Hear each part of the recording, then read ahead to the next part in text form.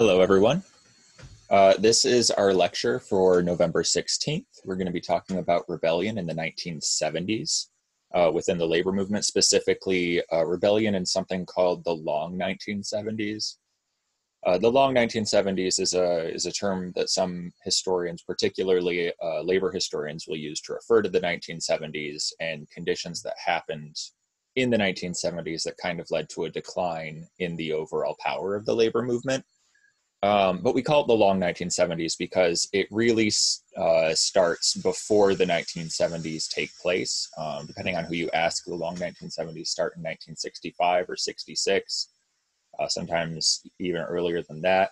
Uh, but most commonly, they start in 1968 uh, uh, with the election of Richard Nixon to the presidency, um, beating out the, the Democratic nominee for president. 1968 is often cited as the end of the labor liberal coalition or the New Deal coalition. This uh, this force that has kind of guided government politics over the last uh, two lectures that we've had and has ri- had, has contributed to the rise of the labor movement.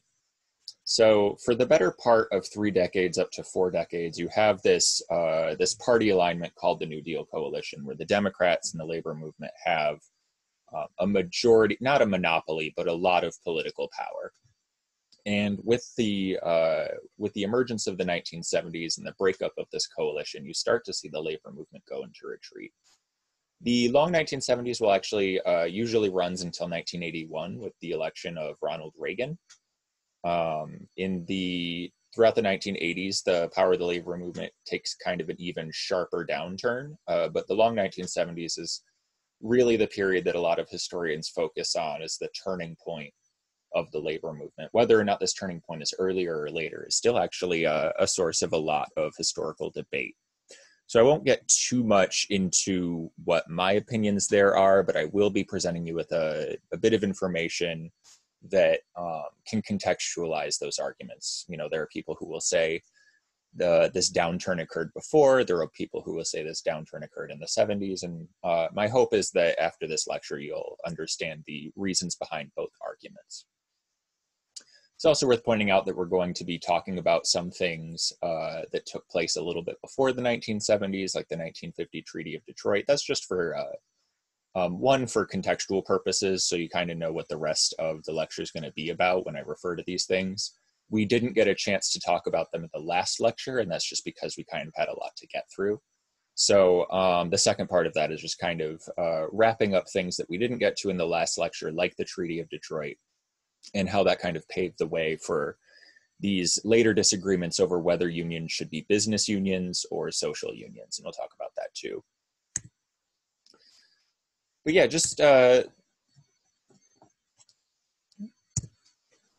like uh, like I said, a lot of this is going to be picking up right when the last uh, lecture on World War II and uh, the post-war labor movement, when that lecture started to kind of end, we're going to be picking up right there.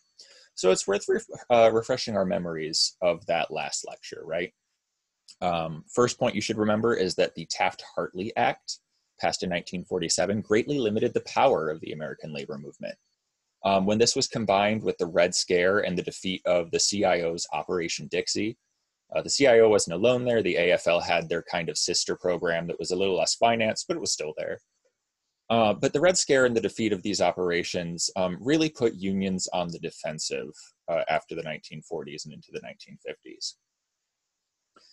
Some of this stemmed from the fact that after World War II, there was a pretty big debate on who was included in the labor movement, who's uh, who had a right to certain kind of breadwinner or family wage jobs and who didn't. The prevailing idea at the time was that men who were stereotypically the heads of their household had some kind of birthright to these very high paying union manufacturing jobs um, that were protected by the USW, uh, the UAW, or the UMWA.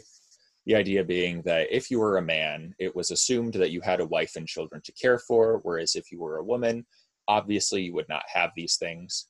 Uh, these kinds of assumptions, of course, left out all of uh, the single mothers who maybe were unmarried or were widowed but still had to keep uh, take care of their families.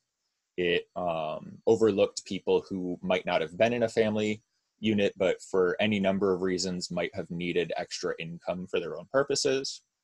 So it's a very, um, what we sometimes call heteronormative aspect.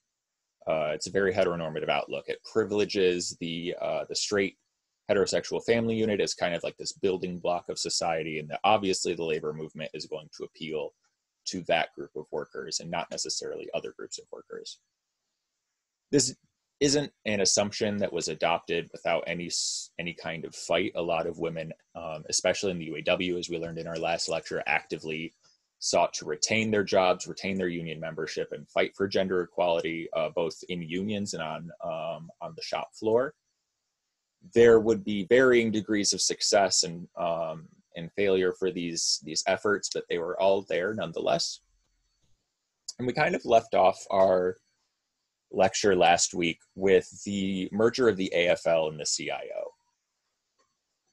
This was done ostensibly to, to ensure that the labor movement had more political power.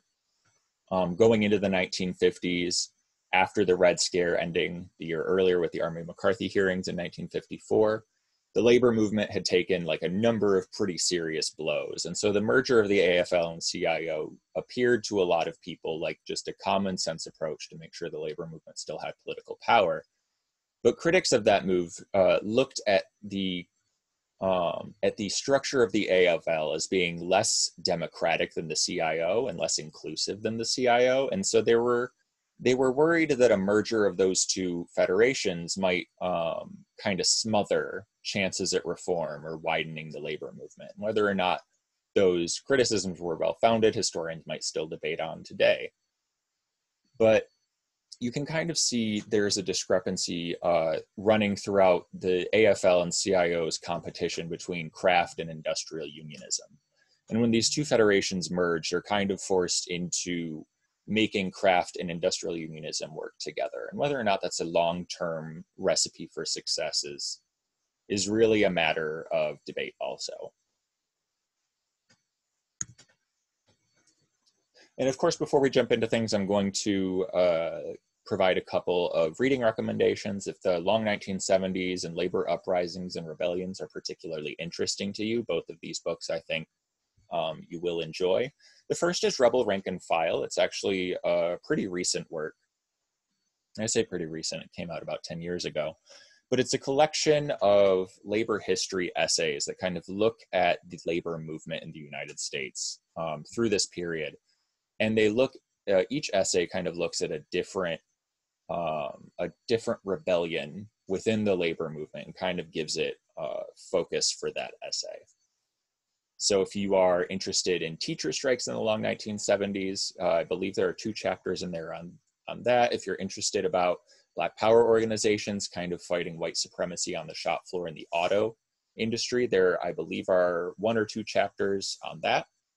If that latter topic isn't especially interesting to you, um, given that a lot of us live in Detroit, we're studying in Detroit. Wayne State is uh, a university at the heart of the city of Detroit if that specific geographic locality is interesting to you, then I would, of course, also recommend Detroit I Do Mind Dying, a study in urban revolution. Detroit I Do Mind Dying is a historical account of an organization that we're going to talk about today called the uh, League of Revolutionary Black Workers, or LRBW. It actually started off as a slightly smaller organization focused around Chrysler's Dodge main plant, which would have been in today's Hamtramck uh, called the Dodge Revolutionary Union Movement, or DRUM. That uh, organization caught um, caught a lot of growth. Um, it appealed to a lot of people who were incredibly frustrated with kind of this entrenched beer, uh, what they perceived as entrenched bureaucracy, um, entrenched racial discrimination, entrenched sexism within uh, the UAW as well as within uh, the manufacturing industry as a whole, and they sought to correct those issues. So uh, that's definitely a book I would recommend uh, recommend reading, even if you're not interested necessarily in the history of the uh, auto unions or of the labor movement. As a as a Detroiter, it's a kind of a, a cornerstone work for understanding our city's history, also. So definitely check that out if you have some free time. But right, let's jump uh, right into things. Right, we're going to talk about the Treaty of Detroit and this rise of what um, today some people refer to as business unionism. So after World War II, we see this Red Scare uh, start to deepen. And unions and businesses in the post war uh, order are really starting to kind of battle it out over things like wage rates, benefits, um, the pace of, of production, all of these different things now that we have a national labor relations board to kind of arbitrate this bargaining process, we have the right of workers to form unions in the National Labor Relations Act or the Wagner Act in 1935, if you recall. Now that workers have this formal process through which they can organize and negotiate over their pay, the process of, uh, of actual contract bargaining gets pretty mucky pretty quick. And this is for a lot of different reasons. One, is that up until Taft Hartley, what specifically a union can bargain on, what specific actions they can take in the bargaining process, is still up in the air. In the Great Depression, of course, sit down strikes uh, were legal, or if they weren't legal, unions and workers, uh, by working together, made them legal on kind of a de facto basis. Um, the Flint sit down strike won workers uh, the right to join the UAW. The Little Steel strikes in Illinois and um, the strikes at US Steel one, uh, made sure that the United Steel Workers had their union. But how often do you negotiate over a contract? For a lot of workplaces, it was every single year, right? So there'd be a 1946 contract, there'd be a 1947 contract. And whenever progress couldn't be made on these contracts, ultimately, um, a lot of times work would stop, right? Unions would call a strike. Your uh, business isn't bargaining in good faith with us. Um, and so we're going to walk out and a business would turn around usually and negotiate with with the union or they would try and entice people back into the shops wherever they could um, to kind of uh, break the union through um, through labor that uh, that wasn't represented by the union Taft Hartley specifically allowed uh, more and more employers to um, to do this. Uh, in the South, you start to see the passage of a lot of right to work laws that allowed worker that allowed employers to basically circumvent the bargaining process with unions and hire strike breakers in order to keep their businesses running. So whether or not an employer could do this had uh, could depend on how um, amenable they were to negotiating with a union but also you know unions would not only discuss uh, things like wages and benefits but they would actively call for workers participation in um, in guiding the policy of companies. This uh, is kind of that it falls into that category of industrial democracy right? So it's not as uh, it's not as radical of a call for industrial democracy as you might see uh, coming from an organization like the IWW. But other industrial unions might call for uh, an industrial democracy light, if you will, right? Um, maybe workers shouldn't own the factories, but you know, uh, workers uh, representatives in the union should be able to meet with management, and they should be able to debate over how fast the line goes, right? How many pieces per hour should should an employee be required to to produce? Um, these sorts of things, the idea that uh, that a labor union and that workers collectively could approach management and talk and debate and, and negotiate over uh, the, the specific aspects of how something was made in a factory um, was a pretty radical concept. And it was something that not all unions would try to negotiate for, but those that did, they could just as easily strike over it if um, if they had the the the political power to do so. So you have a lot of recurring negotiations, right? Is what this boils down to. You have a lot of recurring negotiations. You have a lot of industries in the post-war era that are one kind of retooling away from defense production and back to a peacetime economy. So, you know, Ford isn't making tanks anymore. They have to revamp their entire factory to go back to making the F-150 or um, or whatever uh, car they were making in that specific plant. Not every Ford plant makes an F-150, of course. Same thing with Chrysler and GM.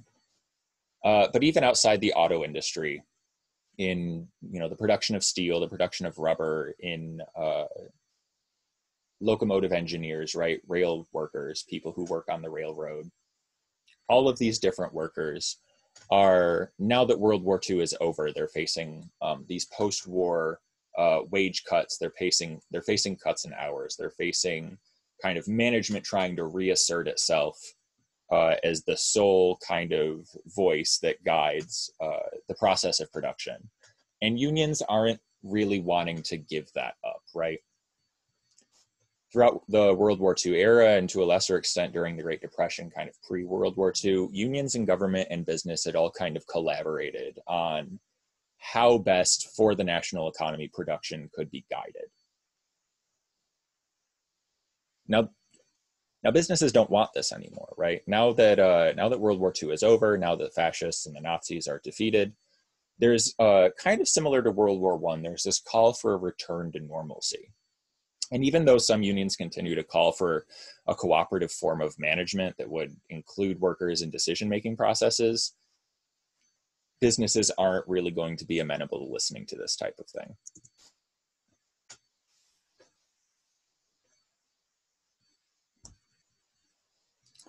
So you may have recalled from our last uh, lecture, one of the books I recommended was called uh, Disruption in Detroit. And it was very much uh, kind of an oral history. So it had these testimonies from auto workers who were alive in the 1940s and 50s, but it was also, you know, more than oral history. There was a there's a definite narrative there that kind of, uh, and if you didn't read this, I'm kind of giving you the cliff notes here. There was a narrative there that told us that even though there's these arguments, there's this historical understanding that post World War II there was a huge economic boom. Um, workers in Detroit, workers in uh, in industries represented by industrial unions didn't necessarily benefit from that post-war boom. Not immediately at least right? Um, workers again to reiterate um, something that i said a couple slides ago they very much did not have regular full-time hours right? They would be put on part-time a lot of the time or they might be laid off. And some of this just stemmed from the fact that when you're retooling a plant for peacetime production, you don't need as many workers, right? If the machines aren't running, then you don't want to pay people to be there. But even more than that, during the World War II era, there was uh, what some economists would refer to as overemployment. So if you're making planes and and trucks and tanks at Ford's Rouge complex, and you need you know between forty and fifty thousand workers to produce those things, well, at the Ford Rouge complex at its height, it had 100,000 workers. And that was basically to make sure that no matter what happened, if workers called off, if there was a wildcat strike, if someone was sick, or if people had to go home, that you would always have enough workers to keep those factories running at the maximum capacity that they could. Um, there's a lot of uh, there's a lot of memoirs written in the World War II era of defense workers who Elizabeth Hawes, uh, if you recall from last, last lecture, was one, but there were, of course, others who wrote about basically standing around waiting in these factories for jobs to do because there were so many people employed at work. And so, with a reconversion to a peacetime economy, a lot of people who uh, did have high paying jobs in that capacity were laid off just because even once these factories are retooled, their labor just isn't necessarily needed. So a lot of people are facing are facing layoffs. A lot of people are pace, are facing um, hours cuts. They're facing wage cuts, and so there's a real big push by a lot of labor unions to basically protect the living standards that workers had come to expect in the World War II era, where you had kind of these these guarantees of a job if you were willing to work for one. In the peacetime economy, that's you know that's not necessarily the case. You have a lot of people coming back from Europe and you have uh, the demands for a peacetime economy that are kind of different from a wartime economy, right?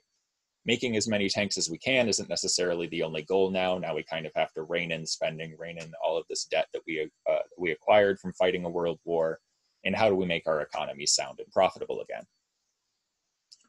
So, of course, as with any small plant in an entire industry and in an entire economy, when you have a lot of businesses saying we don't want as many workers we want to pay them less and we uh, and we want basically greater rights over the over the role of production and you have a lot of workers saying the exact opposite things this leads to a lot of strikes and this kinds of man this manifests in the 1945 through uh, 47 um, post-war strike wave that leads to Taft Hartley, right?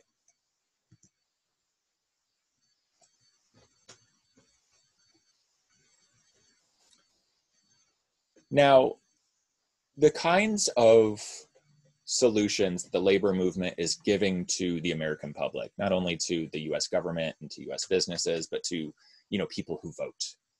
Ostensibly if you're voting right you're going to be picking the representatives who are going to be guiding public policy making decisions for the for the government. Labor activists argued that if you want economic growth if you want to make a good uh, transition to a peacetime recovery the best way to do that is to pursue a policy of full employment um, if you have too many workers uh, for the amount of labor that's needed totally, then you simply reduce everyone's work hours, right? This idea being that as the uh, as Ford, I only need a thousand workers, and if they're working uh, 40 hours a week, then I only need a thousand workers. Period. The union would turn around and say, "Well, you know, there are 1,300 people who need a job, so if you have everyone work 30 hours a week, all 1,300 of those people can have employment." That's that idea of full employment, right?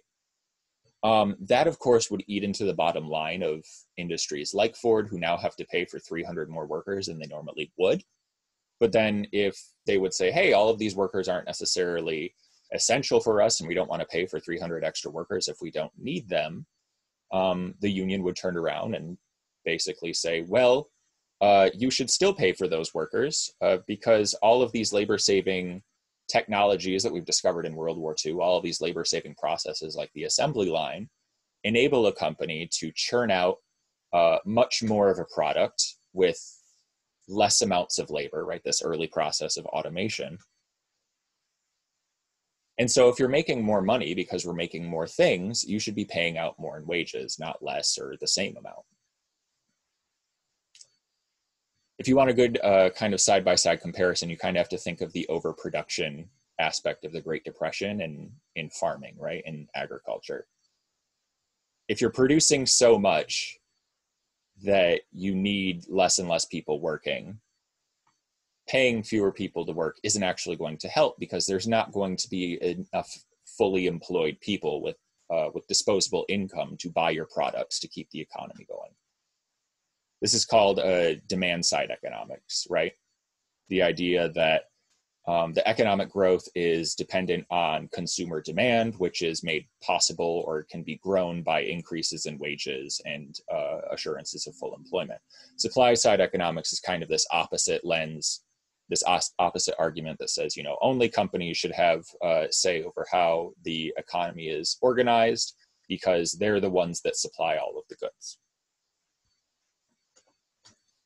So you see these demands for greater cooperation in government uh, between the unions, uh, labor movement, and these businesses. You see the UAW um, advocating for the 30-hour work week and basically government assurances of of uh, guaranteed full employment. This ultimately doesn't happen. Of course, you see, for one, we don't have the 30-hour work week today. Uh, but the Red Scare, Taft Hartley, and the failure of this Operation Dixie really just kind of saps the labor movement of its bargaining strength. And so it's not able to really push through these initiatives. And with ramping up the Cold War, more radical calls for kind of government planning of the economy like this just, you know, they a lot of Americans turn their backs on it.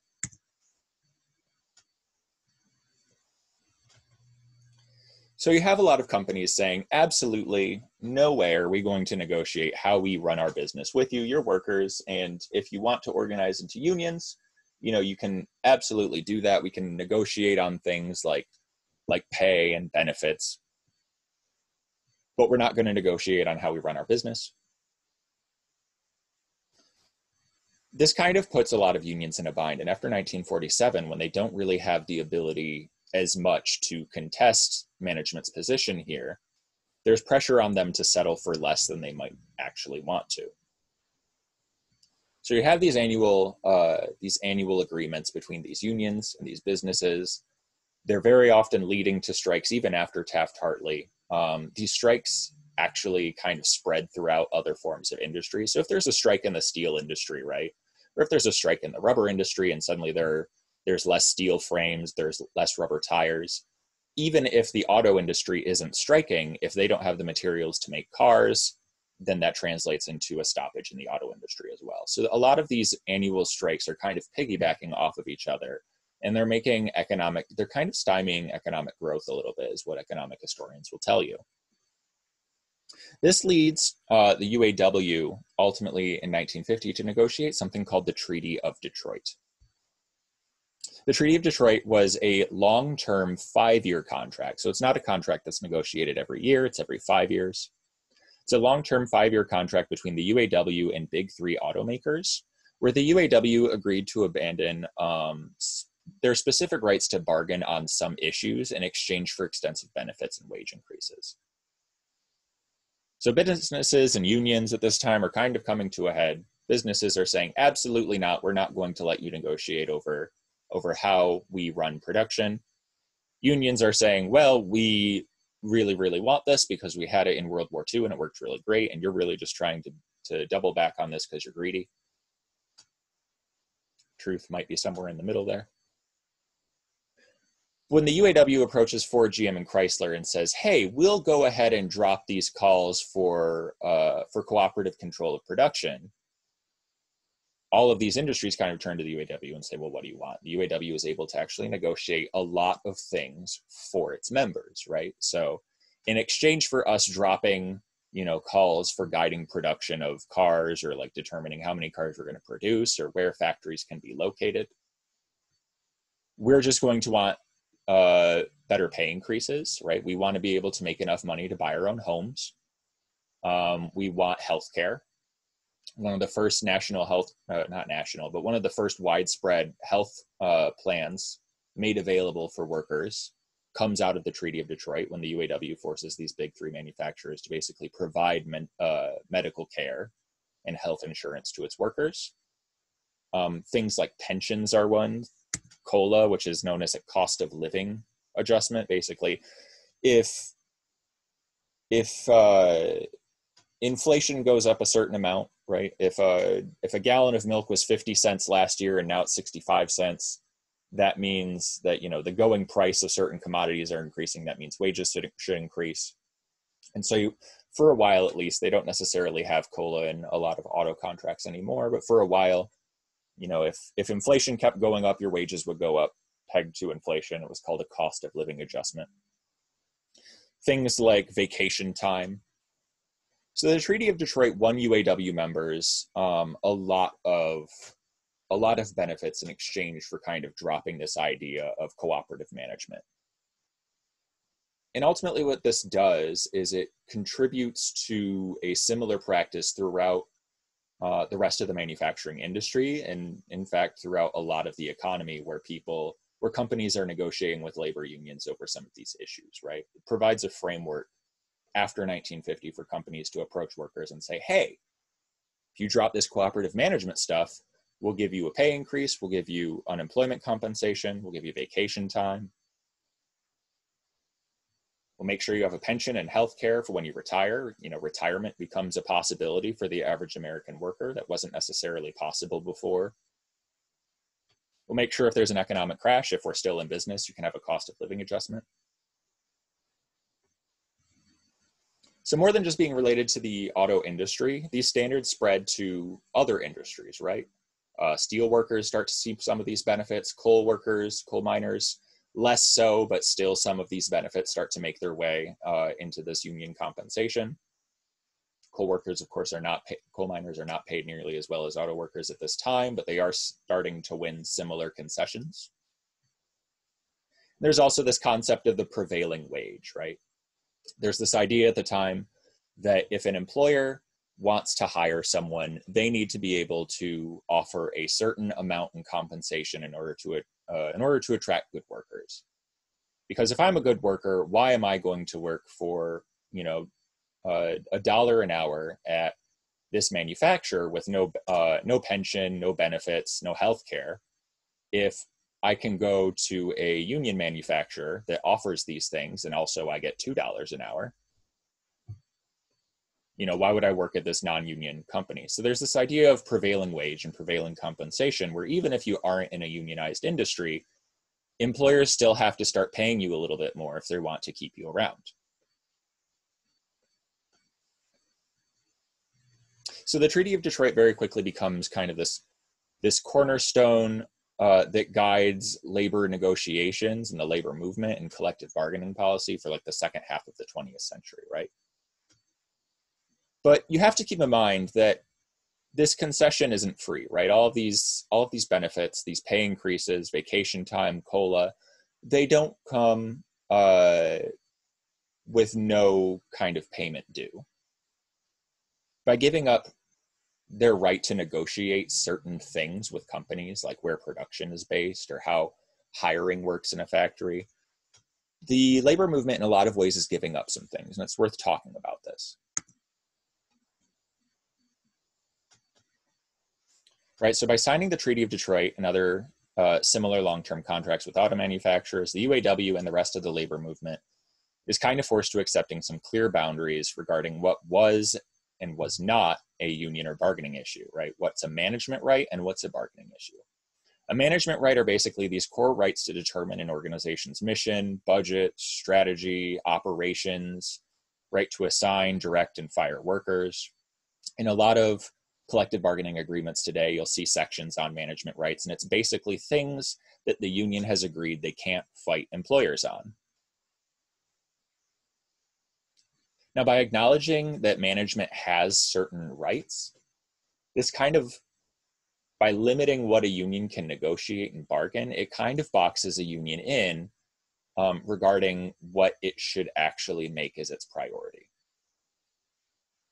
This is uh, what we see as the emergence of a kind of business unionism. So if we're talking about this, right, what is business unionism? Sometimes referred to as pure and simple unionism or more often bread and butter unionism.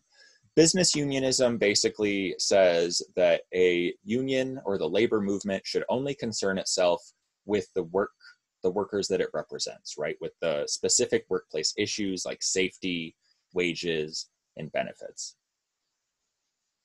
My union local, right, local 6115 has 500 workers, right? As a local of a union, should I be primarily concerned with the wages and benefits and livelihoods of those 500 workers? Business unions would say yes, right?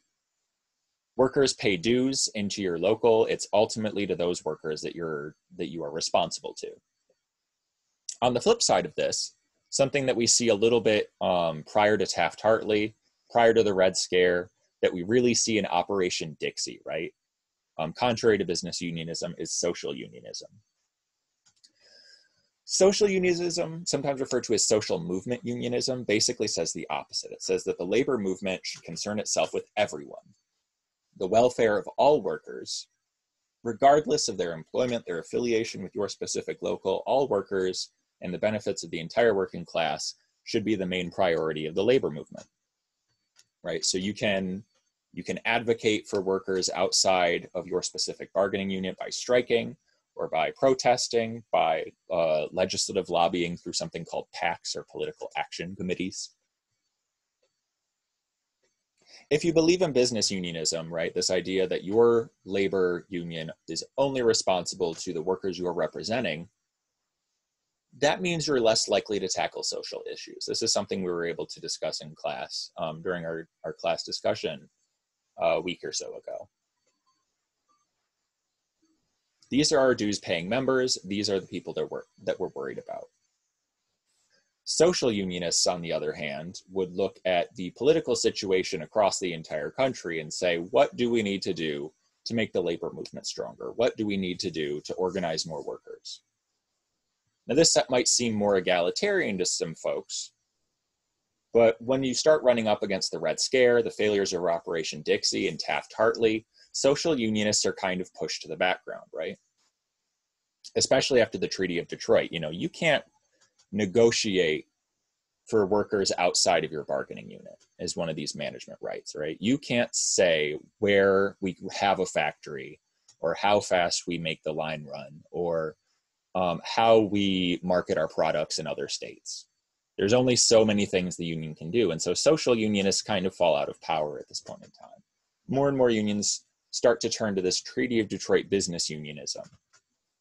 How can we represent our workers? Now, for the industrial union movement, for workers in the UAW or the USW or the UMWA or any of these other industrial unions, business unionism serves them very well. You have millions of Americans who are in the post war era able to buy a house for the first time. Home ownership was not necessarily something that was common before the post war era. The labor uh, movement and business unionism specifically make this possible. They aren't the only things making this possible, but they make it more likely for people to be able to afford these kinds of things. Same thing with healthcare and pensions. So this is probably uh, the leading contestation actually today in the labor movement is is a union a business union or a social or a social union? Should a union be more concerned with the compensation and well-being of its immediate members or should they be looking at a different picture? Your answer on that depends on your own priorities and what you think the labor movement uh, should be responsible for right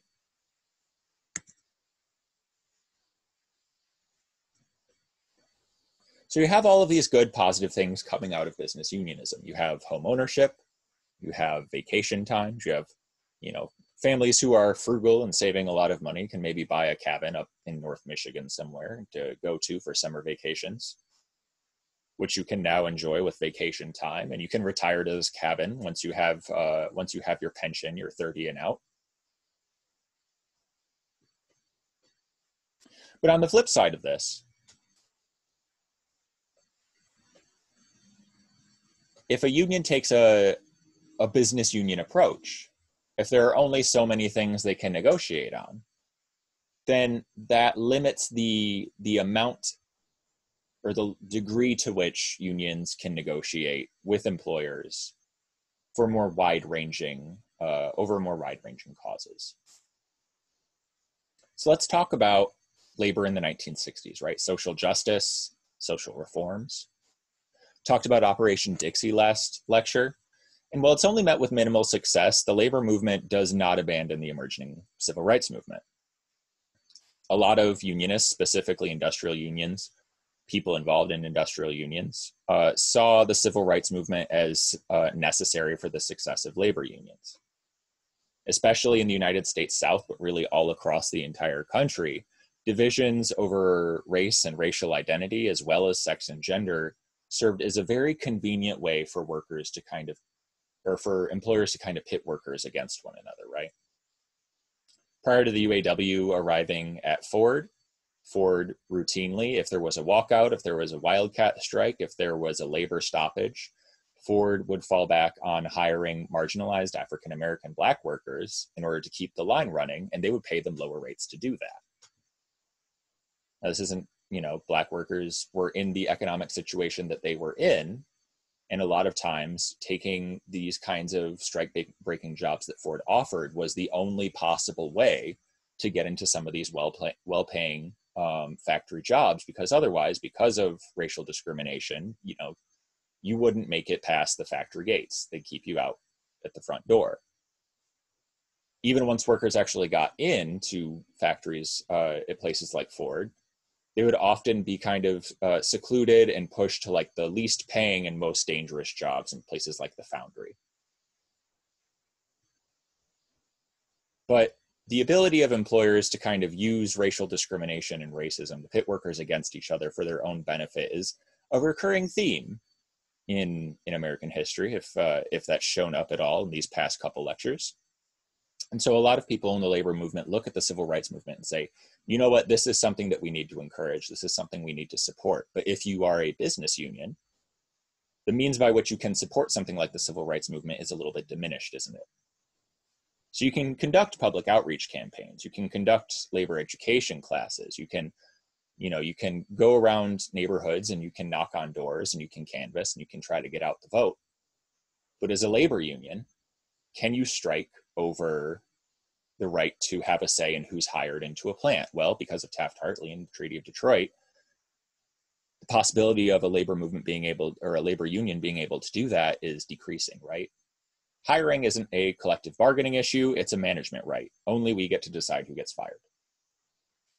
Promotions are not a collective bargaining right, it's a management or a collective bargaining issue, it's a management right. Only managers get to determine who gets who gets promoted. So you start to see how business unionism, despite all of these economic benefits for workers who are already organized, starts to have its drawbacks.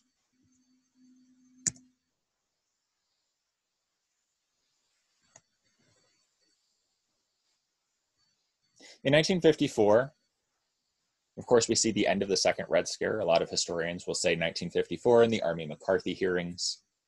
Have you no decency, sir? Very uh, good night and good luck. We look at 1954 as the end of the Second Red Scare. Some historians will put it at 1960, but by 1954, the majority of it is, is starting to wind down. In 1954, we also see uh, the Brown v. Board of Education Supreme Court ruling. Prior to Brown v. Board, uh, the entire southern United States had uh, segregation uh, in education, not only just in availability, but it was required. If you were in Little Rock, Arkansas, up until 1954, the law said that you could not have integrated schools. What people often forget, however, is that segregation wasn't just a phenomenon that was limited to the southern United States, right? There were a lot of states, if you see the map here on the left, where segregation was optional. So you might live in Oregon, and even though segregation was not required in Oregon, you might be in a district that was particularly not interested in, in racial equality that would also pursue a segregationist policy, not only in education, but in other aspects of life, right? The, the, the majority of states at this time either required or allowed for segregation in education. Now, as you also can see on this map, there were a couple of uh, states where segregation was specifically forbidden. But this was a these were state codes and state laws that for that forbade de jure discrimination, right? De jure segregation. And there's a difference between de jure and de facto. If you don't already know, um, I think we've mentioned maybe once or twice in this in this semester already, but it bears repeating that whether or not some whether or not discrimination or segregation or repression occurs just because it's not on the books doesn't mean that it doesn't happen. Right? So a state can ban de jure discrimination right? It's not legal to discriminate. It's not legal to enforce segregation. But that doesn't mean that there isn't de facto segregation right? Sure it's not written in the law and the law might actually say that it's illegal to discriminate on the basis of of race or color or gender in terms of education that last part of gender like doesn't actually isn't outlawed until much later in the 1954 but just because the law says that you can't do these things doesn't mean that they don't happen anyways. Detroit's post-war housing situation is a really good example of racialized barriers being enforced through segregation, even though arguably, depending on who you go to, segregation either is or is not legal. There are many number of ways to, to prevent someone of a different ethnic or racial background from buying a house in your neighborhood, even if there is an ordinance that discriminate that says you cannot discriminate on the basis of race or color.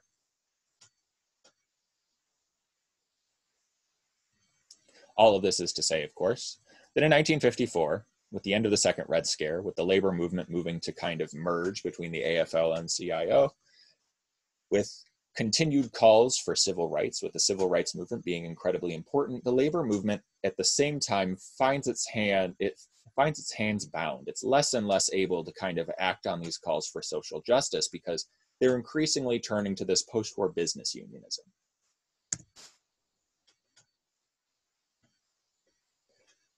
So how does this spell out specifically? Well, if you abandon calls for a union right to union rights to have a say in hiring and firing, that diminishes a union's ability to challenge discriminatory discriminatory practices in employment.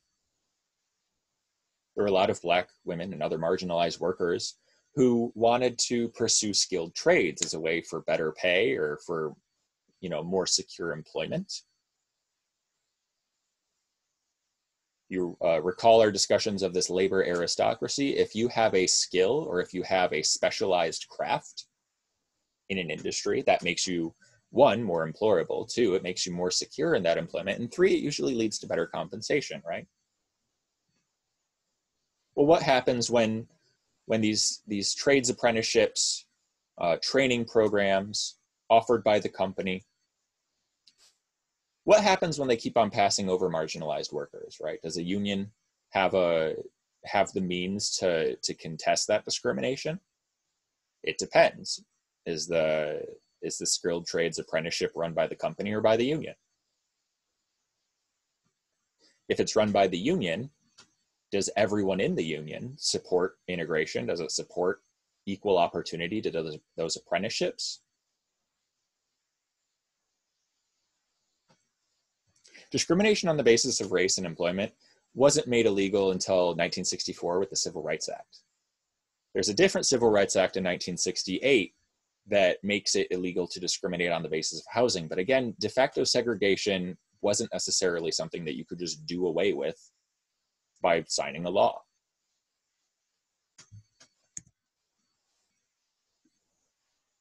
Let's so if a union doesn't have the, or if a union has a diminished ability to negotiate on the terms of hiring and firing and promotions, you might think, well, that's not so bad. You know, over time, eventually, these things will work itself out. Obviously, America is moving towards a post racial society. By 2016, race won't be an issue anymore. But what about what about a union's right to have a say in how a company organizes itself in the productive process? Unions can actually end up limiting their own security, especially as companies start to hold back on investing in aging factories and start looking for other places to build new production facilities. So in World War II, you have a lot of scientific breakthroughs that usually happens in a war. One side tries to get the edge over the other with scientific advancement, improvements in the in industry and the productive process. You know, if we can make more tanks than Nazi Germany, then obviously we're going to we're going to win this war. It's kind of reductionist. It's kind of a simple way of looking at it. But essentially, if you look at World War II, it was very much decided as a war for resources and industry. In the post war era, you have a lot of these aging factory, uh, these aging factories in places like Detroit. Five stories tall. They were built in the 1900s and it's very hard to fit some of these new labor saving machines in there, right? It's very hard to lift them up by a crane and put them on the third floor where there is room for them. So a lot of these companies, instead of investing in these old buildings, start to look at other places to build new factories. Well, what happens to a union that is tied to a community when that factory, when the owners of that factory decide to close that plant and open a new one somewhere else? Depending on how a union uh, negotiates what's what are management rights and what are collective bargaining issues, it's entirely possible that that union has no possible recourse against a factory closure.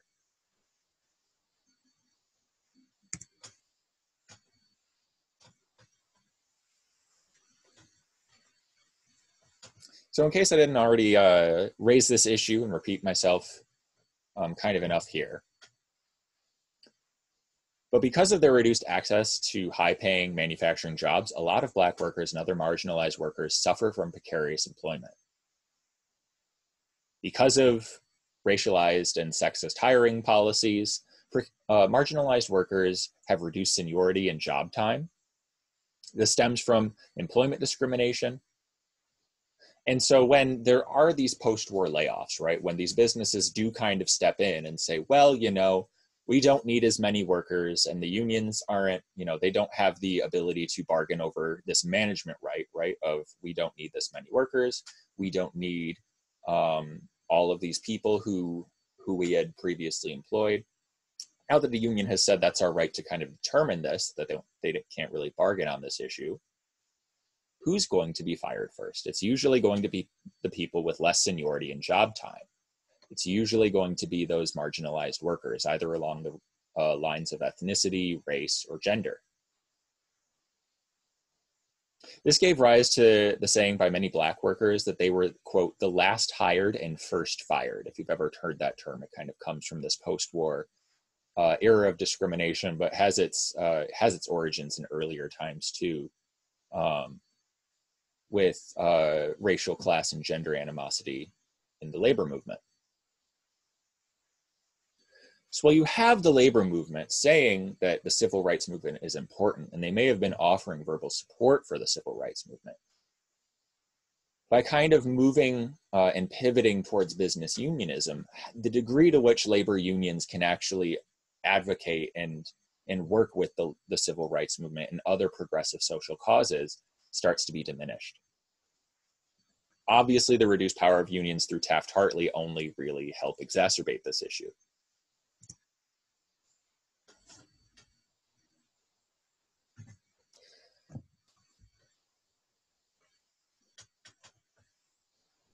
So let's talk about now, really quickly, this idea of a union, management rights, and de facto discrimination. Now, throughout the 1920s, into the 1930s, and throughout World War II, a lot of African American black workers were leaving the southern United States. Part of this was basically to get away from Klan terrorism and Jim Crow segregation, but families also moved to a lot of northeastern cities like Detroit to seek out economic opportunity, right? Especially in World War II and leading up to World War II, when some of these uh, giant manufacturers like GM, Ford, Chrysler, or if United States Steel, right, this kind of this uh, successor to Carnegie Steel, this huge steel producer, Goodyear tires, right? If all of these companies are starting to hire well paying manufacturing jobs, that promises a lot of economic opportunity. And so people start to come north during the Great Migration. And when they arrive in northeastern cities like Detroit, they face a lot of discrimination in housing, not only in education and employment, but housing specifically. It's a very tight market. There's not a lot of available housing in a city whose population is doubling over the course of about 10 years. So establishing integrated communities in these cities are very hard fought efforts. Even if in some places de jure segregation and de jure segre- or discrimination, right? Even if discrimination is legally outlawed, that doesn't necessarily mean that you can't discriminate uh, through other means.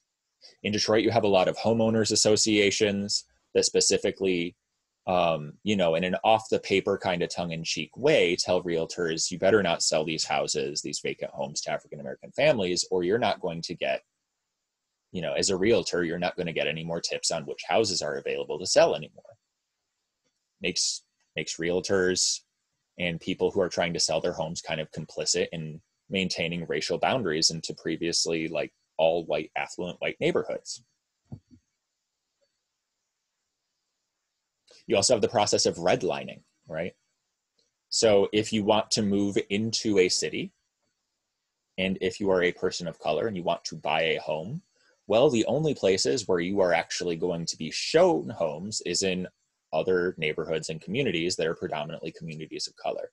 And as it turns out, the Federal Housing Authority is going to systematically look at neighborhoods that are predominantly neighborhoods of color, and they're going to say, well, you know, uh, these areas are slums. These areas uh, aren't that great in terms of property investment, and so we're not going to give you any mortgages or loans to buy a house in these areas.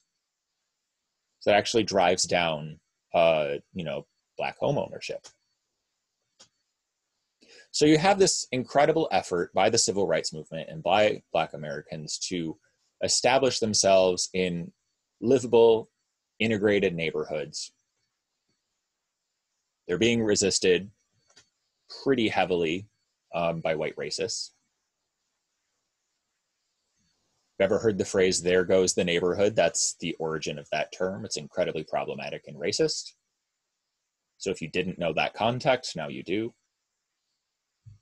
while all of this is happening, these companies are bringing in new labor saving machines introduced after the war.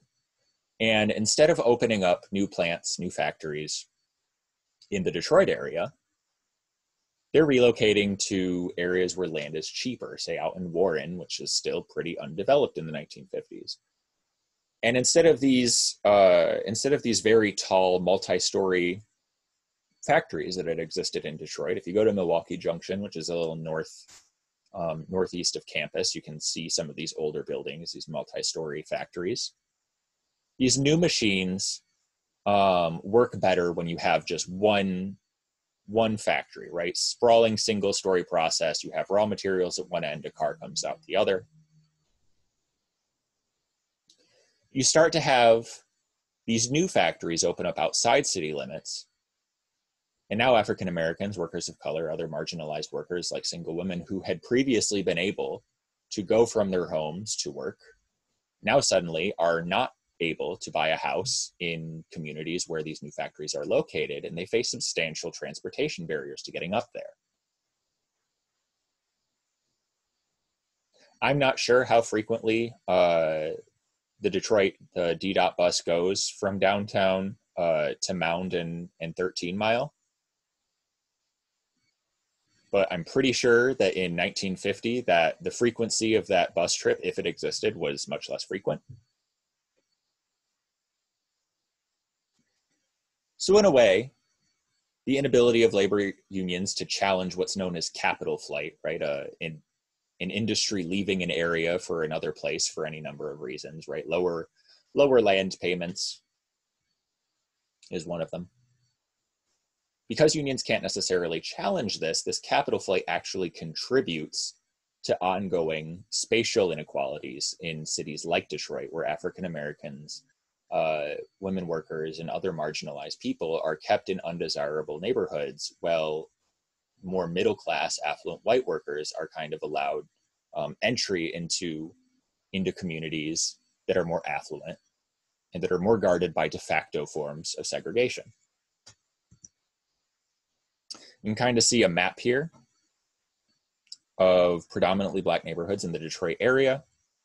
The red areas which basically almost entirely overlap with these neighborhoods are areas where the FHA would not uh, would not provide mortgages for.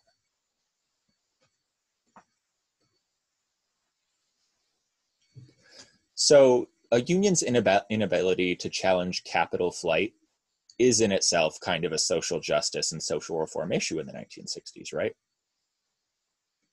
If you are concerned with the well-being of the civil rights movement, if you want to see the civil rights movement succeed, it would behoove you to support racial equality. But if a union can't do that in terms of factory locations, if it can't do that in terms of hiring, then what can the labor movement do? It really only leads uh, leaves it with a couple of options, like political support.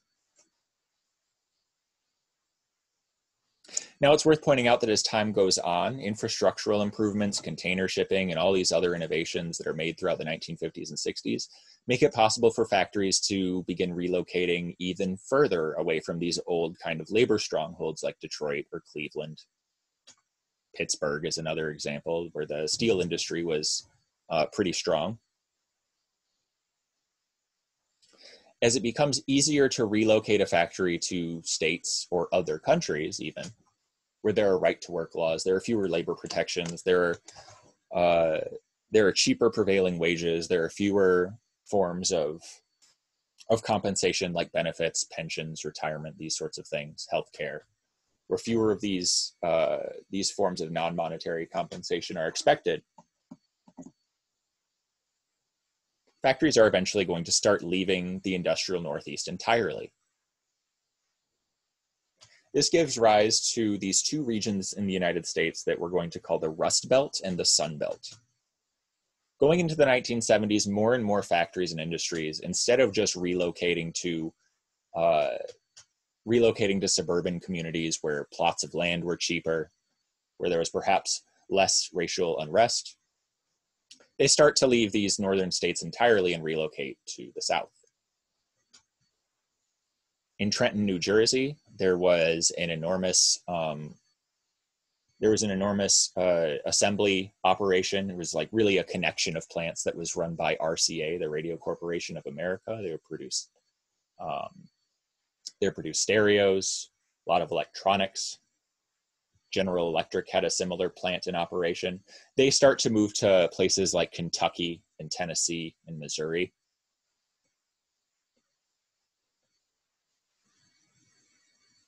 Auto manufacturers similarly start to relocate south. These southern states that start to see manufacturing growth are what we call the Sun Belt. The Rust Belt is where these jobs are leaving from. Grand Rapids, which used to be known as Furniture City, they don't make a lot of furniture now over there anymore. Um, there are a couple of companies like Steelcase that are still headquartered in Grand Rapids. They do some um, furniture manufacturing there. But a lot of manufacturing work starts to leave Grand Rapids and go south to places like North Carolina and Virginia, Georgia, even. And these are all places where there are right to work laws that make it less costly for a company to employ workers. But of course, the cost of that reduced cost is the fact that workers are making less, that they can't buy as many of the products your company is making. And so you're going to start to see going into the late 1970s a kind of economic contraction. You start to see the US economy uh, growth starts to slow down throughout the 1970s. And this kind of has a feedback loop uh, for companies seeking cheaper and cheaper labor. Um, if this reminds you of the Great Depression at all, you're not the only one to notice this. Some other historians have kind of made similar comparisons. Sometimes known as a race to the bottom. So again, while the business union approach enables for the precipitous growth of the middle class in the American in the United States, um, you also see a reduction of union power that ultimately kind of reinforces the ability of managers to drive down the labor movement while at the same time stymieing kind of the success of the civil rights movement. So just to uh, refresh on a couple of terms here capital flight is when a business or company or you know a collection of financial assets capital flight is when those things leave an area. It's usually to relocate to another location.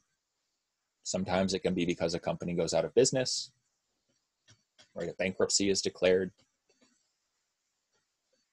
When capital flight starts to happen like kind of on a mass scale when entire industries start to leave an entire region this is known as deindustrialization. And this is what starts to happen to the Rust Belt as industries move out of the industrial Northeast and the Appalachian regions to a lesser extent and toward these southern United States where infrastructure improvements, advances in technology, you know, the, the construction of road networks make it easier and easier for them to do business there.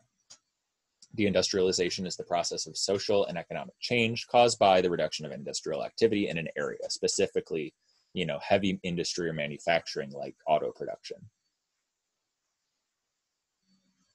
On the right here you'll see two uh, two pictures of this earlier capital flight trend where these larger multi-story factories are abandoned for predominantly like single story sprawling complexes. The two buildings you see here are actually only uh, you know 10 or 15 miles apart. The first one is on mound and eight mile so I believe Warren Truck. And the bottom is uh, the Packard plant.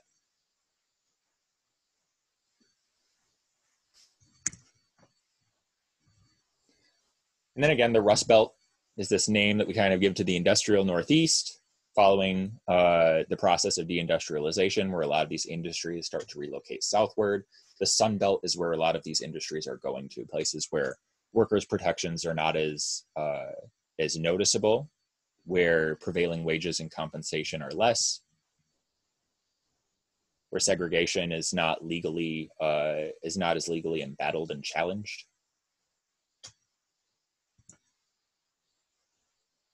So let's now that we have all this out of the way, there are a lot of structural changes taking place. Uh, there are a lot of there's a pretty massive shift in the labor movement away from social unionism and towards business unionism that comes with the merger of the AFL-CIO with the failure of Operation Dixie and kind of uh, Taft-Hartley you know, the union, the labor movement tries to repeal it. It is ultimately unsuccessful in doing so. And then with the Red Scare kicking up, kind of unions put even more on the defensive. All of these structural changes and the rise of business unionism kind of lead to this uh, this state of of just stasis, right? Unions very much become static as they become more and more preoccupied with preserving the the benefits and wages of their members instead of actively trying to grow the labor movement. This isn't to say that there isn't organization going on, but it's definitely taking a backseat role to unions trying ways to really grapple with and combat deindustrialization and capital flight with the means that are left available to them. Now, with all this going on, the labor movement starts to see increased calls for reform over how unions represent workers, right? Activists start to call for unions to prioritize issues um, that challenge wider problems that workers are facing in society instead of these day to day business union affairs in the United Auto Workers, one of the best examples of these kind of rank and file rebellions where workers start to get together and challenge their own union, right? The bureaucratic nature of their own union, what they see is is an undemocratic union that's that's become less and less responsive to their to their needs, is the Dodge, Dodge Revolutionary Union movement. Acronym is called DRUM. Kind of the subject focus of that book that I mentioned at the start of the lecture, Detroit, I Do Mind Dying. Drum was established at Chrysler's Dodge main plant in Hamtramck, but their message caught on with a lot of people and it quickly started to spread to other areas. They adopted, of course, their their own names. There was uh, a plant um, on Mack. Uh, it was like the Mack Eldon stamping plant. Um, they took the name Elrum, if I recall correctly. Uh, there was a uh, a revolutionary union movement in within Ford. It was called FRUM or From. Um, other workers in the in the newspaper industry formed their own revolutionary union movement.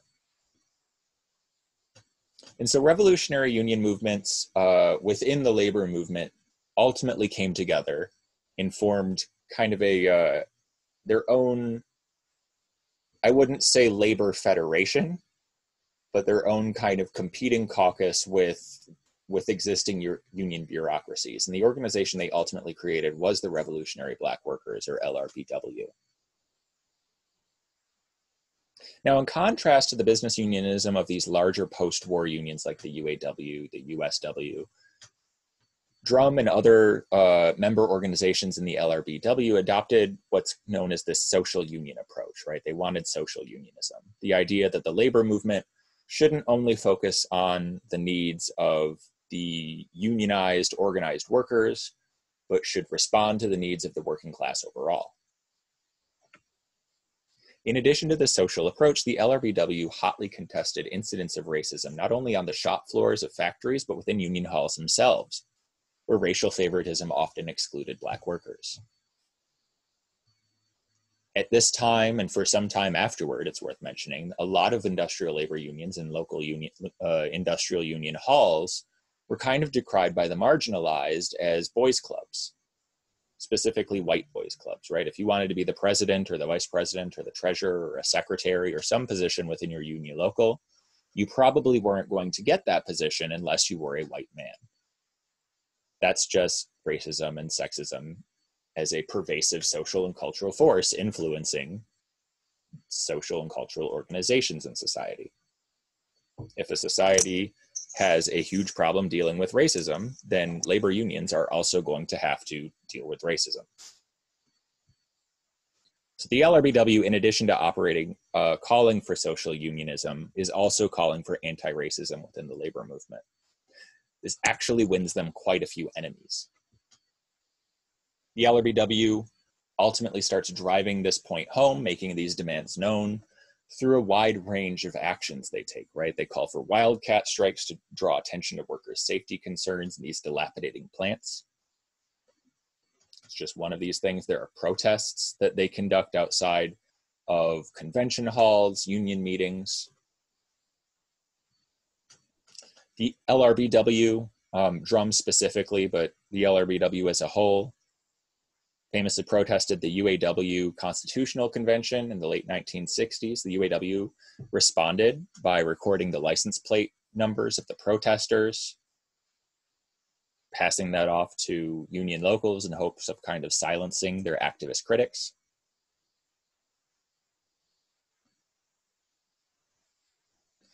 In the late 1960s, early 1970s, Drum seals themselves into plants like Dodge, Main to conduct wildcat strikes. They halt auto production in these places for a few days to call attention to the entrenched racism in the in the union movement, the entrenched racism practiced by management as well, uh, the perceived collaboration between the unions, the business unions, and the manufacturers, and to demand safety reforms in some of these old aging plants that had led to a number of worker deaths. Instead of supporting the LRBW and encouraging the company to hear their concerns out and listen to them, the UAW sends in a group of, of activists known as the Flying Squadrons.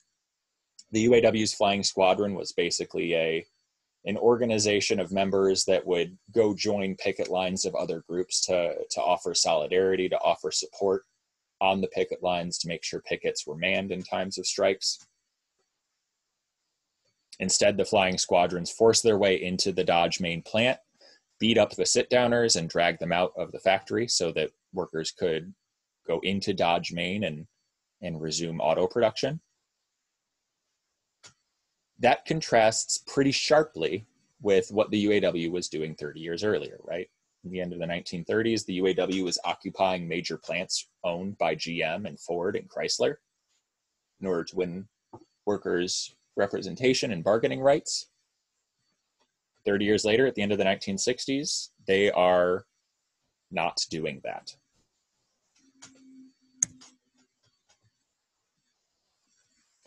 By the mid 1970s, though, despite its upsurge in growth, the LRBW starts to fall apart. And this is for a number of reasons. Um, there's some factional disputes and some infighting. Uh, the, the rapid growth and success of the LRBW leads a lot of people to begin arguing, you know, should this be a, a labor movement issue or should we try and form a, uh, a third political party that's more focused on the labor movement and workers' rights? Feel like the US is constantly always searching for a third party and it has yet to find one. But there were some in the LRBW who wanted to turn it into a political movement. There were some in the LRBW who wanted to basically uh, set up themselves as a competing union against the UAW, which the UAW and the rest of the labor movement would likely decry as dual unionism. Others still said that the LRBW should remain within the UAW as a reform caucus, right? We should, you know, if, if we can't get the company to negotiate with us directly, maybe we can vote the people in charge of the UAW out and replace them with people who will demand uh, to discuss and negotiate over things like plant closures, racist hiring pre- uh, policies, preferences for white workers in in firing and seniority issues.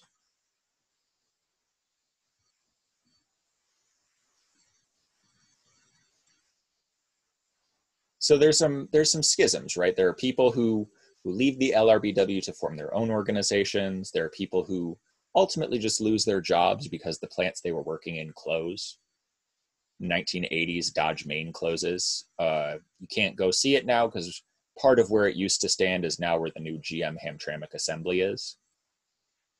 So it's worth pointing out that gm's hamtramck assembly was almost closed a couple years ago and it employs far fewer workers than dodge main ever did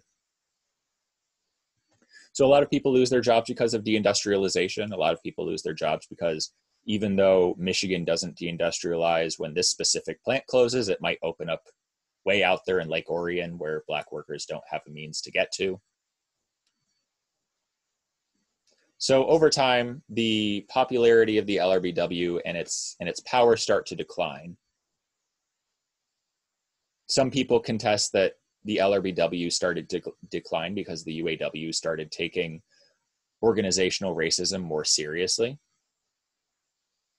Whether or not you agree with that statement, also very hotly com- uh, debated and contested by people who lived through uh, these times. But by the end of the 1970s, the LRBW was essentially a defunct organization. Activists who were involved in Drum would continue uh, working against racism, racist hiring policies, and um, racist city policies. They would continue to fight for a more social unionist orientation of the labor movement.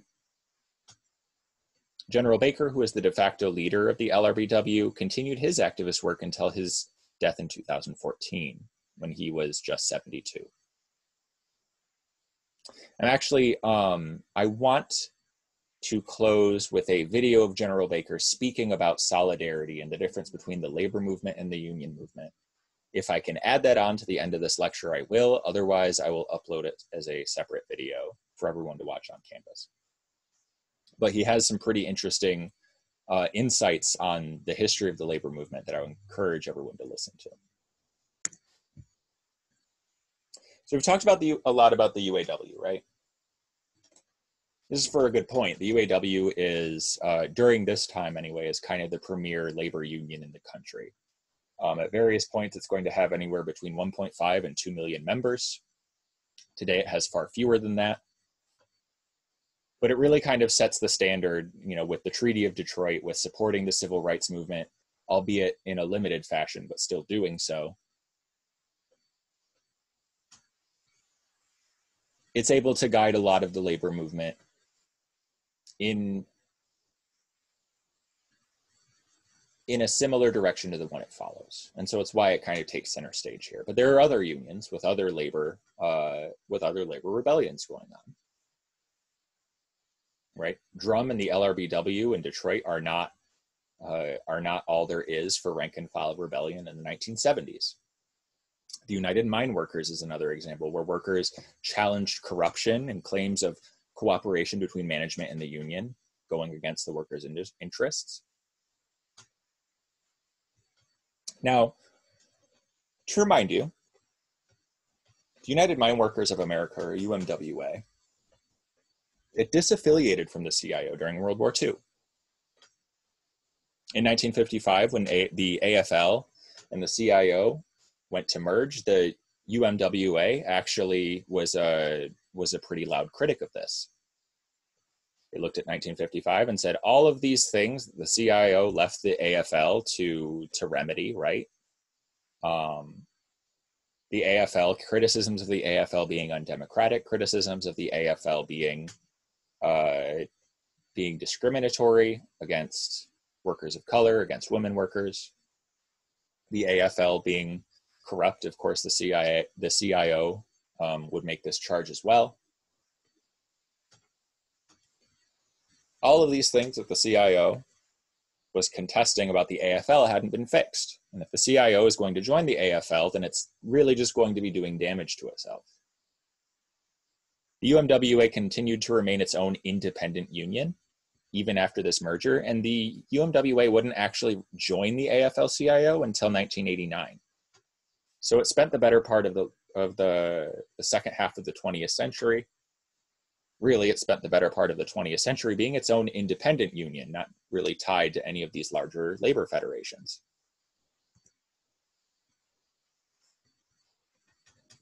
Now, in 1969, a lot of people were looking at the, the state of mines, the state of mine, uh, mine workers, state of the coal industry, workers' compensation, workers' benefits, and there was a lot of growing discontent about how effectively they were being represented by the UMWA.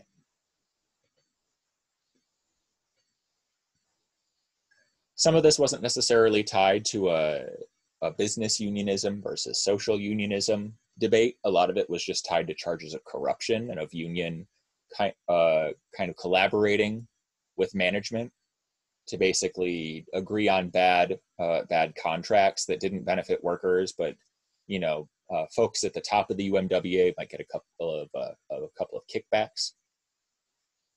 In 1969, workers in the UMWA were actually so upset with this trend that they encouraged uh, one unionist, Joseph Yablonski, to run against the president of the UMWA. His name was William Boyle. This is only after there were like repeated calls for reform and changes and greater de- democ- uh, democratization within the UMWA to be implemented. They went unanswered. William Boyle had a very uh, he's up there at the uh, at the top left. Yablonski is bottom right. Boyle had a very uh, hard nosed, my way or the highway uh, reputation about him. In the 1969 election, Boyle beat Yablonski by a two to one ratio. Gets 66% of the vote. Yablonski gets only 33% of the vote. It's kind of suspect because Yablonski had a lot of support behind him. A lot of people started to wonder if maybe the election was was fair right was the were all the votes counted or was there fraud in the selection process and this isn't like a 2020 election where very clearly there wasn't in 1969 this specific election like the 66 to 33 percent shocked a lot of people and so while Yablonski conceded defeat, he went to the Department of Labor and asked that they investigate the election to see if there were actual incidents of fraud. And in addition to this, he filed a number of civil suits against the UMWA regarding their conduct in running the election, saying, hey, there are some things that the UMWA was doing that just don't sit well with a lot of people, and we would like the, the Department of Labor to investigate. Now, in response to this pressure, instead of Boyle meeting with Yablonski or allowing the Department of Labor to conduct their investigation unfettered. Uh, he instead takes embezzled union funds and uses those funds to hire gunmen to assassinate Yablonski. And they do that on New Year's Eve in 1969. Yablonski, his wife, and his 23, I believe, not sure of her age, but she was in her early 20s. Uh, Yablonski, his wife, and his 23 year old daughter are murdered while they're sleeping in bed.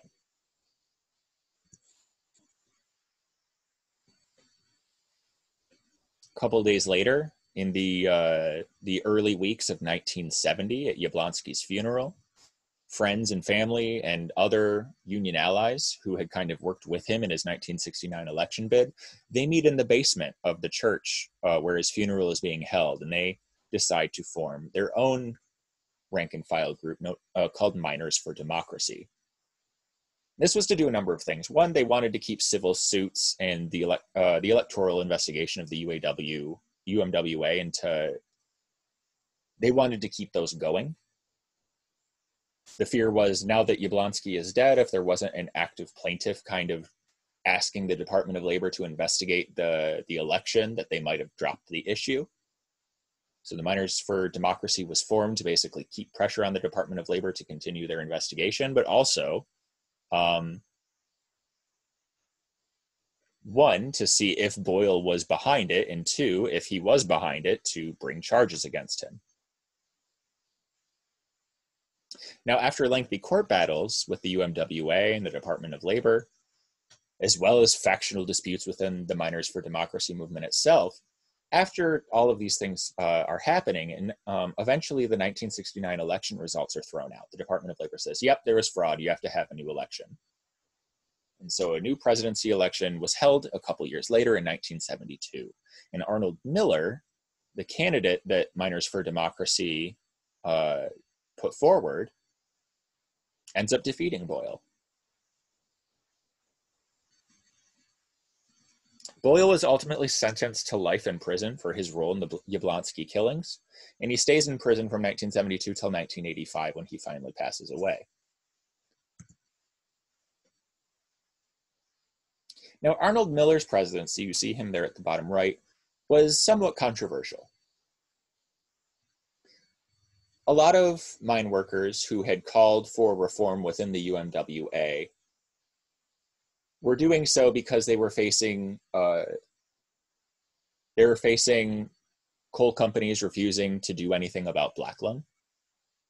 Um, there were incredibly poor wages despite the the economic success of the coal industry. And so miners and their families wanted these issues addressed. And this more or less falls into the realm of business unionism, right? We want pay and we want working conditions to be better. Um, in a lot of coal mines, all the union would necessarily ask for was these hydration, these water fountains. The idea being that you have, like, when you're breaking up coal rocks, you have all this coal dust floating around in the air. And so you pump sprinklers, you pump water into, into the air, and that catches this coal dust and it makes it kind of fall down to the floor so you're not breathing it in. If you ever see people demol or if you ever see a building demolition, when we had the the DeRoy apartments on campus when they were demolished over the summer last year. They had these water cannons going over going over the building and it was to prevent these fine particles from this from this concrete dust from going into the air and getting in people's lungs. It's not an incredibly costly uh, safety thing to put into the mines, but it was something that mine operators absolutely refused to do. Miller's presidency adopted more of the social unionism approach, however. And a lot of people in UMWA actually resisted Miller's approach. They said, "We want you to take care of black lung, and they want, and we want you to take care of our abysmally low pay as miners. We don't necessarily care. I mean, we very well might care about the civil rights movement, but that isn't why we voted for you to replace Boyle, right?" So a lot of people ended up criticizing Miller because they didn't view him as a very effective leader, or they looked at his social uh, social union advocacy, his support for things like women's equality and the civil rights movement, and you know they had claimed the union had fallen into radical hands. So while Miller did successfully win re-election in 1977, five years later, the popularity of Miners for Democracy began to wane. And they themselves ended up getting boxed in by existing contracts that either were negotiated before they took power or were negotiated in their first wave of negotiations with mine operators that kind of limited how much they could actually demand and fight for. And of course, all of this was only exacerbated by American the American coal industry's further decline. As we get further and further into the 70s, the US is going to become more and more dependent on fossil fuels less dependent on coal, especially as environmental concerns start to take increasing importance in American politics. And so, in contrast to the League of Revolutionary Black Workers, that doesn't see a lot of success because there is kind of, uh, in addition to all of these problems facing the labor movement, in addition to deindustrialization, they also have to deal with entrenched racial discrimination the League of Revolutionary Black Workers doesn't have that much success. Miners for Democracy does, but these same kinds of social and economic pressures on the labor movement ultimately mean that even when they do win, win, win union power, when they do win control of the UMWA, they're not able to really use it that effectively. And it's because of this business union approach really taking center stage in the labor movement.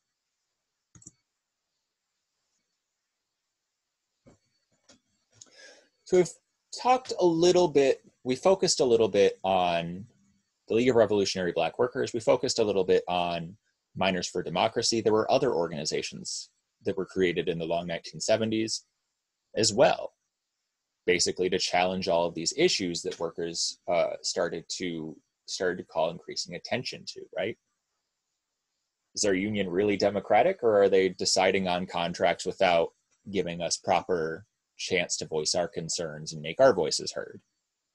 Are these unions bureaucratic? Are they working with the companies they're supposed to be negotiating us, negotiating with for us? Are our unions adequately fighting racist and sexist policies, or are they not really caring that much? The International Brotherhood of Teamsters faced similar challenges and had its own anti corruption caucus known as the Teamsters for a Democratic Union. We're not going to get too much into the TDU today, but the TDU remains a, a vocal force within the International Brotherhood of Teamsters.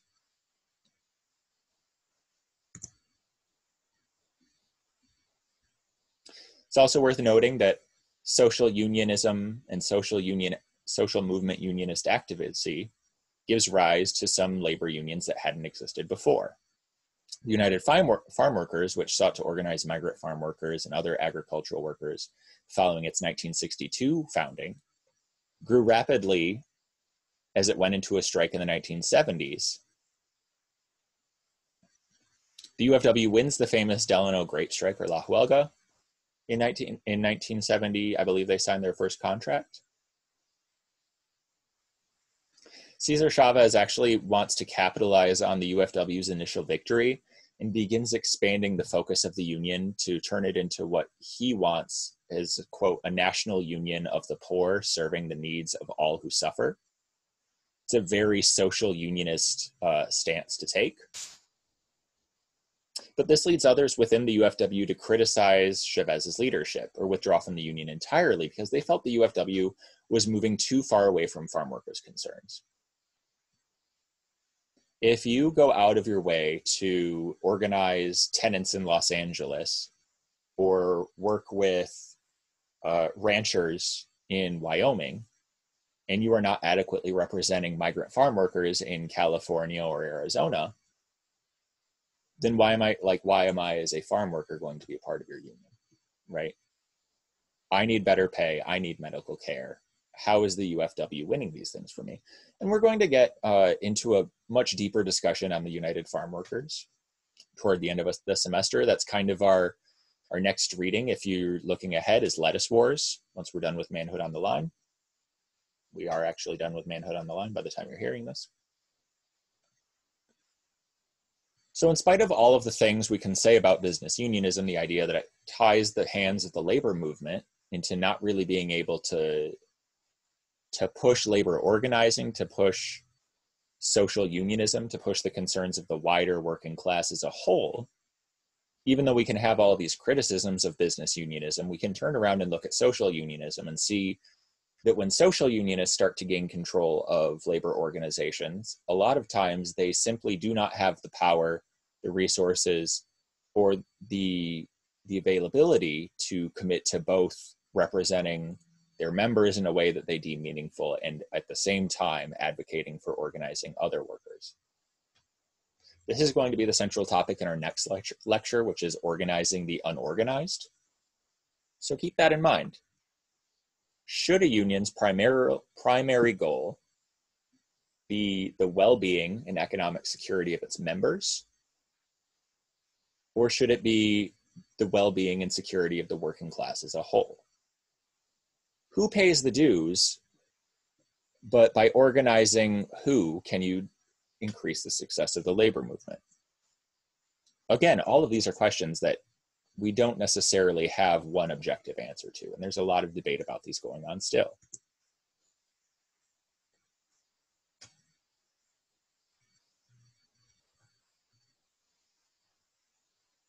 During this time, the American Federation of Teachers and the National Education Association, workers involved in both unions that kind of represent primary, secondary, and post secondary educators.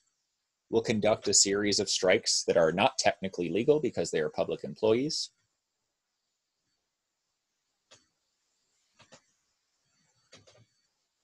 Especially when urban cities start to see budget shortfalls because of all this capital and white flight out of, out of urban areas. Schools that had normally been able to provide students with pretty good educations suddenly have to make some pretty sharp cutbacks, right? Tax revenues are down because everyone's leaving the cities for these all white suburbs. So you're going to have to take a pretty stark cut in pay. Also, you're going to need to have to take on a bunch of extra students. Also, you have to provide your own pencils. Teachers in the 1970s don't really appreciate this, and they start going on strike. But public employed teachers striking in the 1970s were often decried by their opponents as these types of inner, inner city welfare queens who were just, you know, they didn't really care about the students. They just wanted uh, more money so they could, you know, pay for their homosexual dance lessons or whatever the, you know, whatever people thought unionized teachers did in their off time.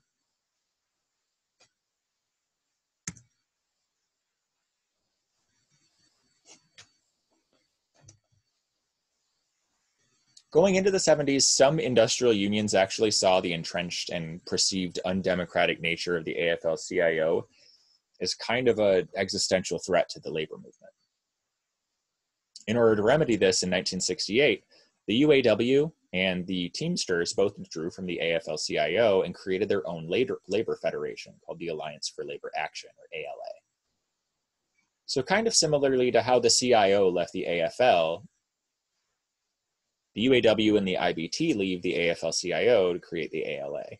And they're not alone. Some smaller uh, organizations leave with the AFL-CIO and join them. The Alliance for Labor Action, or ALA, wanted to kind of return to this pre Red Scare social unionism in the labor movement and focus much more on organizing workers who had not been organized. Some of these workers could be in or outside of their industries. It didn't really matter because the idea was that by organizing and unionizing more and more of the workforce, you would grow the labor movement to the point where social unionism and business unionism together could be a viable option like it had been before Taft Hartley. Now, optimism for the ALA was actually pretty high, but the effort ultimately fails, but for different reasons than CIO's earlier Operation Dixie. One, both of the labor movement leaders that had kind of blazed the trail for the ALA die. Also, the political power of major industrial unions like the UAW and the IBT had started to wane. As more and more of union represented factories started to move toward the South where they didn't have union recognition, the membership of industrial unions like the UAW or the USW or the UMWA or all of these other industrial unions would start to decline. Today, the UAW only has about 700,000 members, but well over half of them are retirees. They're not actively working. In terms of active workers, the UAW, I believe, has about 300,000 members, which is in sharp contrast to its almost 2 million in the 1950s. Now, you have folks like Walter Reuther, who, well, as head of the UAW, he is uh, in pursuing a more business unionist approach for much of his tenure as president, is being decried by DRUM and the LRBW as being complicit in racism. He's not challenging racism enough. Reuther at the same time is looking at the then head of the AFL CIO, George Meany, and says, You're not doing enough to actively confront racism. The AFL CIO is not doing enough to fight for civil rights.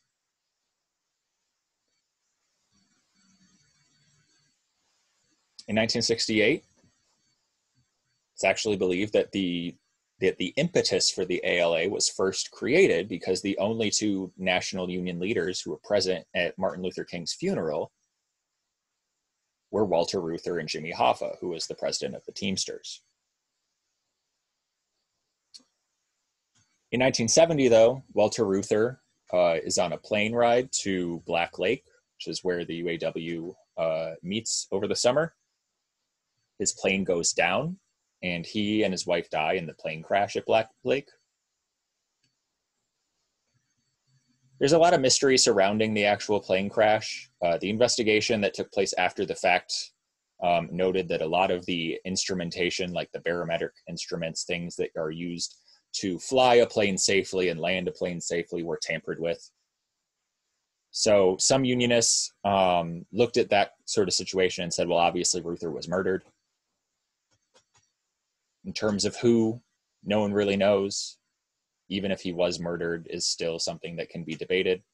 Um, but no charges or investigation was ever followed up. Jimmy Hoffa, um, a year later, is imprisoned for corruption.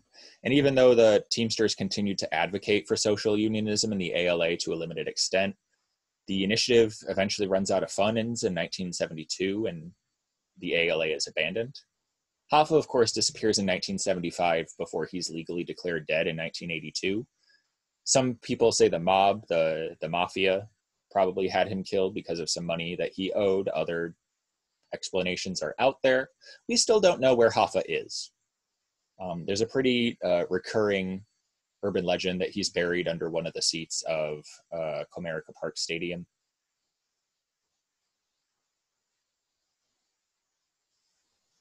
Either way, the UAW ultimately rejoins the AFL CIO in 1981, and the Teamsters six years later in 1987.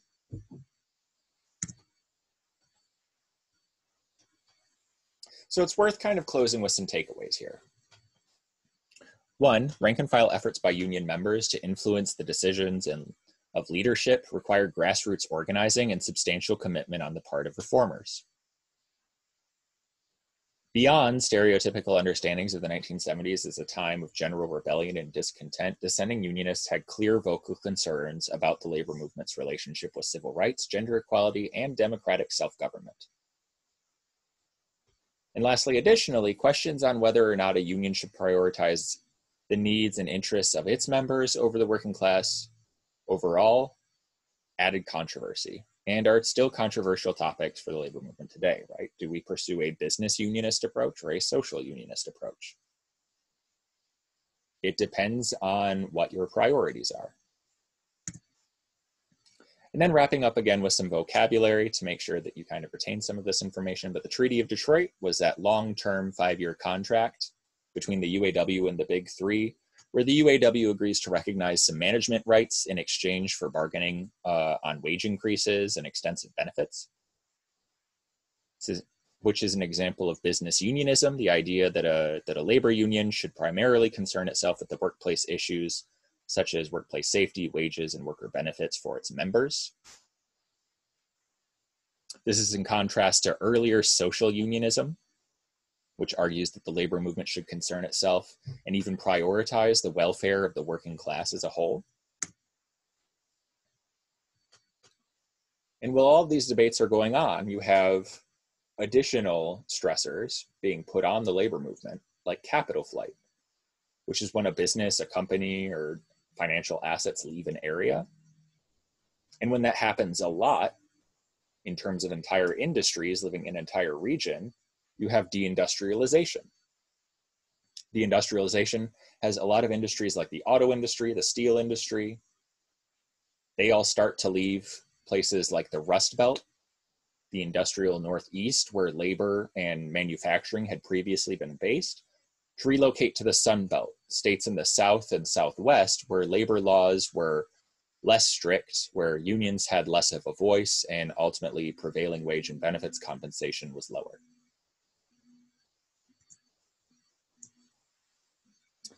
So for next class, um, go ahead and read Loomis's 10 Strikes, Chapter 8. That's Lordstown and Workers in a Rebellious Age. And make sure to read Faue's uh, Rethinking Chapter 5 that covers lost opportunities from 1961 to 1981. That overlaps a lot with that long 1970s period we talked about. And make sure before the 16th or the day of the 16th, if you like to play it risky, uh, to turn in the second term paper benchmark assignment, and that's that tentative bibliography, that works cited page that you're going to be using for your uh, term papers. As always, if you have any questions, I will be available during office hours on Zoom or just send me a, a message on Canvas or an email directly if those times don't work and we can set up a, a meeting independent of those times. I'm wishing you all the best and uh, thanks for listening to this lecture.